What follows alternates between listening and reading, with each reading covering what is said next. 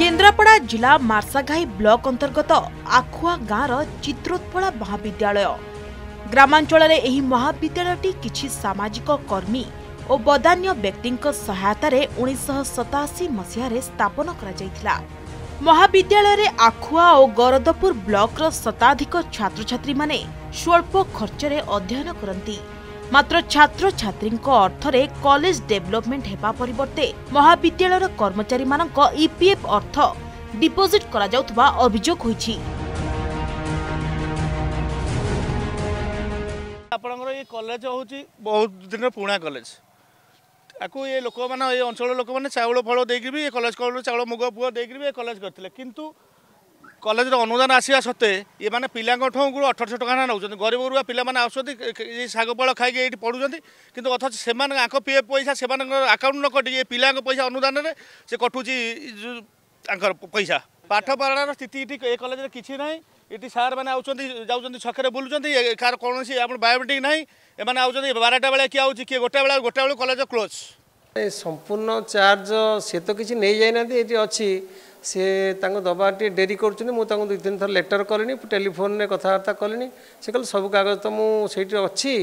ଆଉ ତାଙ୍କୁ ସେ କହିବା କଥା ମୋତେ ଟିକେ ଅଫିସ୍ କୋଅପରେଟ୍ କରୁନି ସେଥିପାଇଁ ଟିକେ ଡିଲେ ହେଉଛି।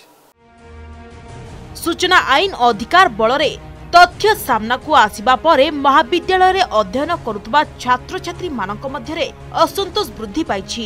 ସରକାର ଶିକ୍ଷାର ବିକାଶ ପାଇଁ ଗ୍ରାମାଞ୍ଚଳ ହେଉ ବା ସହରାଞ୍ଚଳରେ ଥିବା ମହାବିଦ୍ୟାଳୟର ଉନ୍ନତି ପାଇଁ ଅର୍ଥ ମଞ୍ଜୁର କରୁଥିବା ବେଳେ ବିଦ୍ୟାର୍ଥୀଙ୍କ ଅର୍ଥ କିଭଳି ଅପବ୍ୟବହାର ହେଉଛି ତାହା ଏବେ ପ୍ରଶ୍ନବାଚୀ। କେଉଁ ଗାଇଡଲାଇନ ଅନୁଯାୟୀ ଇପିଏଫ୍ ଟଙ୍କା ଡିପୋଜିଟ୍ ହେଉଛି ତାହା ମଧ୍ୟ ସନ୍ଦେହ ଘେରରେ। ମାତ୍ର ଏ ସମ୍ପର୍କରେ କେହି ମୁହଁ ଖୋଲିବାକୁ ନାରାଜ। ପିଲାଙ୍କ ପଇସା କହିଲେ ଏଠି ବ୍ୟକ୍ତିଗତ କାହାକୁ ବୁଝାଯାଉନି। ପିଲାଙ୍କ ପଇସା କହିଲେ ଏଟା ହେଉଛି ପବ୍ଲିକ୍ ପ୍ରପର୍ଟି ଏବଂ ପବ୍ଲିକ୍ର ଇଣ୍ଟରେଷ୍ଟ ପାଇଁ ଏ ଯେଉଁ ଷ୍ଟାଫ୍ ମାନେ ଅଛନ୍ତି ତାଙ୍କର ଫ୍ୟୁଚର୍ ପାଇଁ ଏଠି ଇ ପି ଏଫ୍ ଖୋଲାଯାଇଛି ଏବଂ ଇ ପି ଏଫ୍ର ଗୋଟିଏ ସେୟାର ଏମ୍ପ୍ଲୟି ସେୟାର ଆଉ ଏମ୍ପ୍ଲୟର ସେୟାର ଏମ୍ପ୍ଲୟି ସେୟାର ଦେବେ ଫିଫ୍ଟି ପରସେଣ୍ଟ ପ୍ରିନ୍ସିପାଲ ଦେବେ ଅଧ୍ୟକ୍ଷ ଦେବେ ଆଉ ଫିଫ୍ଟି ପରସେଣ୍ଟ ଆମ ସାଲାରୀରୁ ଯିବ।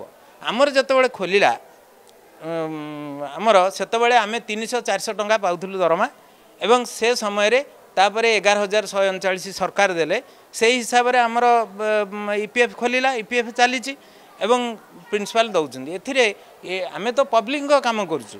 ପିଲାମାନେ ସେଇ ପବ୍ଲିକଙ୍କର ତେଣୁ ଏଥିରେ ତ କାହାରି ବ୍ୟକ୍ତିଗତ କିଏ ନେଇଯାଉନି। ଚିତ୍ରୋତ୍ପଳା ମହାବିଦ୍ୟାଳୟ ଆଖୁଆ ମହାବିଦ୍ୟାଳୟର କେଳଙ୍କାରୀକୁ ନେଇ ଯେତେବେଳେ ଆମେ ଉପଜିଲ୍ଲାପାଳ ନିରଞ୍ଜନ ବେହେରାଙ୍କ ପ୍ରତିକ୍ରିୟା ନେବାକୁ ଚେଷ୍ଟା କରିଥିଲୁ କାରଣ ଏଠି ସମସ୍ୟା ରହିଛି ଛାତ୍ରଛାତ୍ରୀମାନଙ୍କ ଆଡ଼ମିସନ୍ ପଇସାରେ କର୍ମଚାରୀମାନଙ୍କ ଇ ପି ଏଫ୍ ଭରାଯାଉଛି। ତେବେ ଏ ସମ୍ପର୍କରେ ଯେତେବେଳେ ଅସନ୍ତୋଷ ବୃଦ୍ଧି ପାଉଛି ଛାତ୍ରଛାତ୍ରୀମାନେ ଏହାକୁ ନେଇ ପ୍ରତିବାଦ କରୁଛନ୍ତି ଅଭିଭାବକମାନେ ପ୍ରତିବାଦ କରୁଛନ୍ତି ସେହି ପରିପ୍ରେକ୍ଷୀରେ ଉପଜିଲ୍ଲାପାଳ ଯିଏ ଅଛନ୍ତି ପରିଚାଳନା କମିଟିର ସଭାପତି ଅଛନ୍ତି ସେ ପ୍ରତିକ୍ରିୟା ଦେବାକୁ ଅନିଚ୍ଛା ପ୍ରକାଶ କରିଛନ୍ତି। ତେବେ ଛାତ୍ରଛାତ୍ରୀଙ୍କ ଉପରେ ଦିଆଯାଉଥିବା ବୋଝ ଉପରେ ଲଳିତା ବିଡ଼ା ଏବଂ ଗ୍ରାମାଞ୍ଚଳର ଯେଉଁ ଯାଉଛନ୍ତି ଗରିବ ଛାତ୍ରମାନେ ପାଠ ପଢ଼ୁଛନ୍ତି ସେମାନଙ୍କଠୁ ସିଧାସଳଖ ଚଞ୍ଚକତା କରାଯାଉଛି। ଏ ସମ୍ପର୍କରେ କିଏ ପଦକ୍ଷେପ ନେବେ ଏ ବୋଲି ସାଧାରଣ ଜନତା ଉଠାଇଛନ୍ତି ପ୍ରଶ୍ନ କେନ୍ଦ୍ରାପଡ଼ା ଉପଜିଲ୍ଲାପାଳଙ୍କ କାର୍ଯ୍ୟାଳୟ ପରିସରରୁ କ୍ୟାମେରା ପର୍ସନ ଉମେଶ ମହାରଣଙ୍କ ସହ ପ୍ରଭାତ ଲେଙ୍କା ଅର୍ଗସ୍ ନ୍ୟୁଜ୍